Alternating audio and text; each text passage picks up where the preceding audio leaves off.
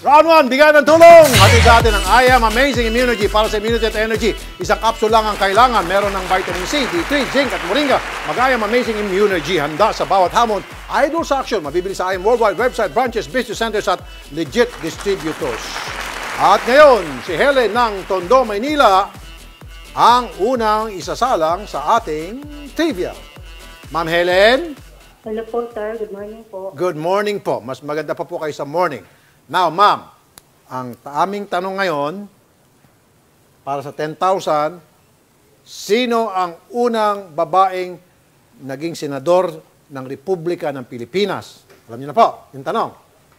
Babaeng senador, yung kauna-unang babaeng senador ng ating bansa. Gets niyo po, ma'am? Opo. Okay. Meron ka idea? Wala. Wala pa po, sir. Okay, itong tatlo. Take note, mamat. Isa lang sa kanila nagsasabi ng totoo, yung dalawa kabalastugan para lituhin ka. Okay?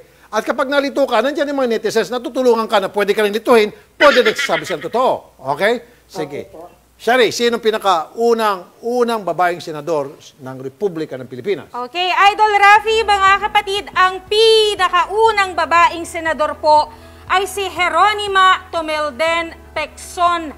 Siya po ay nahalal noong 1947 hanggang 1953 sa ilalim po ng Partidong Liberal. Okay. Ma'am, narinig niyo po yun, ha? Opo. Okay. Opo, sir. Number two. Ang pinakaunang babaeng senador ay si Miriam Defensor Santiago noong taong 2004. Siya ay naging popular dahil sa kanyang tapang at pagsugpo sa korupsyon sa Pilipinas. Bukod sa kanyang talino, siya ay nagustuhan ng tao dahil sa kanyang karisma at magandang personalidad. Siya ay tinaguri ang one of the 100 most powerful women in the world in 1997 by the Australian magazine. Hinirang din siyang Iron Lady ng Times Magazine. Okay. Anong pala ulit nung sa'yo? Siya po ay si Pecson. Okay. Jeronima Pecson. Jeronima Pecson. Idol. And then sa'yo naman, uh, Miriam Miriam Defensor Defensor Santiago. Number three! Ang pinakaunang babaeng senador ay si Gabriela Silang na nagmula sa Ilocos Sur. Dati siyang magiting na military leader noong 1763 na nagsusulong ng karapatan ng mga kababaihan. Gabriela Silang. Yes. Okay. Ma'am, alin doon sa tatlo? Si Miriam Defensor po. Miriam Defensor Santiago. Okay. Opo. Netizen, tulong! Sabi po ni Ma'am Ariela, 1. One. Dennis Jenny, 1. One. Erica Santillan, 1. One. Moriel, 2. Two. Jules, 2. Two. Zyron, 1. One. Jimmy, 2. Two. Ru Fernandez, 1. One. Anthony, 2. Two.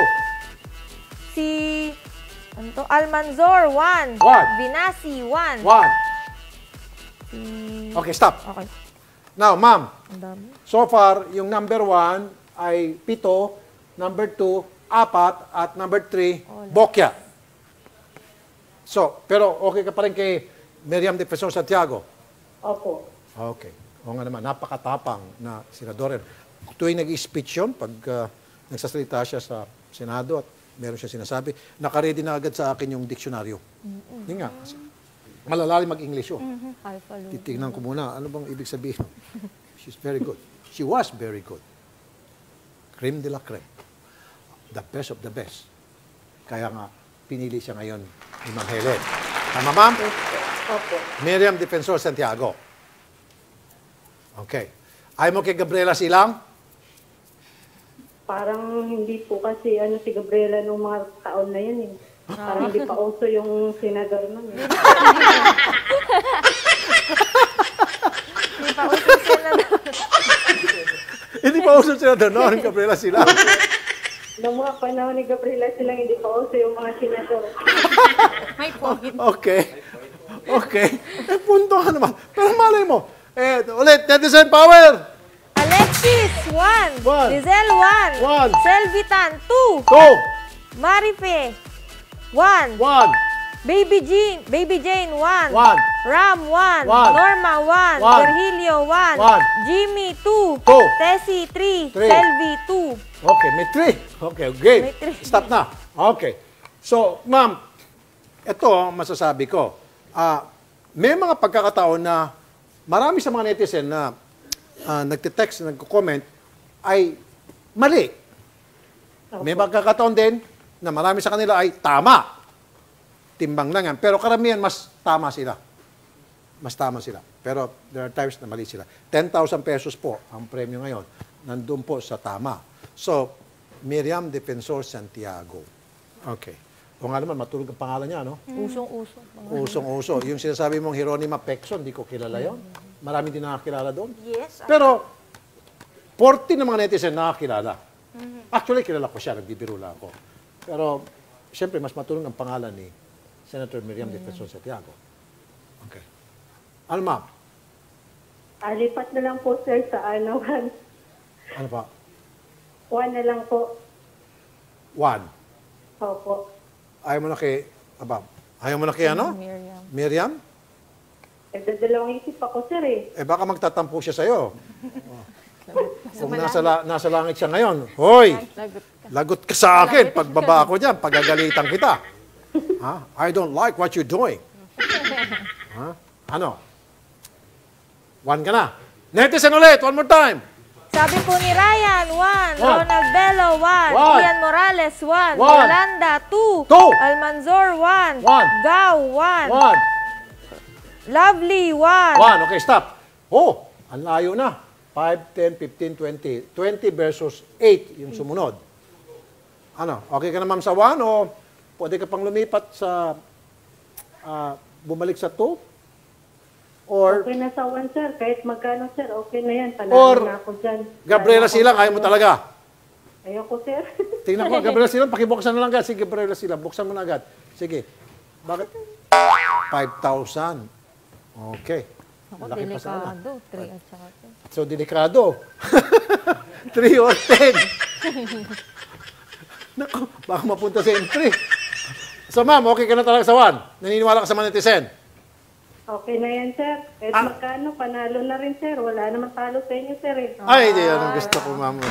So, ma'am, magmensahe ka sa mga netizen. Sabihin mo sa kanila, yung, ah, yung mga nagboto sa number 1. Sige, mensahe mo sa kanila.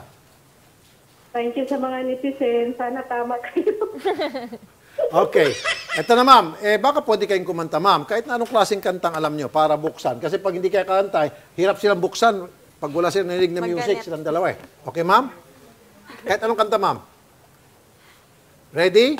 Get set, go. Ma'am, Hindi ako marunong, eh maski na, no, tong-tong, pakitong-kitong, happy birthday, bahay kubo, anything. Doon sa tatlo. Okay? Yung anak ko na lang, sir. Oh, pwede. Sos, Bay pwede. kubo. Bay kubo. Dali, ay Sige. tulo si Aitos. Sige. Anak, ilang taon yung bata? Yung anak nyo?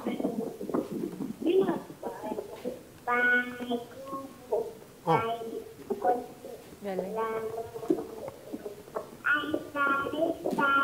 Buksan. Okay. 10,000 pesos.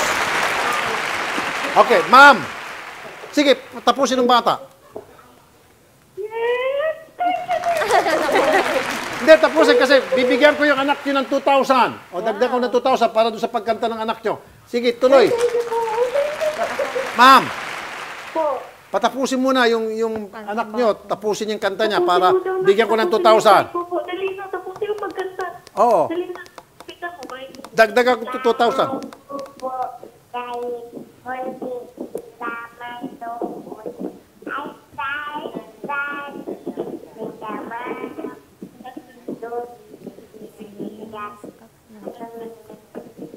Okay na.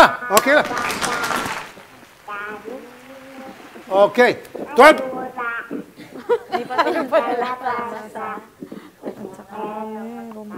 Tabalutut sa Kuya sa matis Bawang katuya Ligit-ligit Ay kung Okay. Okay, yes. 12,000 pesos, ma'am. Congratulations. 12,000 pesos. 10 sa'yo, 2,000 doon sa anak nyo. Ay, may kanta pa, tuloy pa. Okay na. Okay na. Konta na tayo, konta na tayo. Shari, pakibasa. Yes po, Idol Rafi at mga kapatid, ang pinakaunang babaeng senador po na naitala sa buong Pilipinas ay si Senator, dating senador po, na si Jeronima Pecson.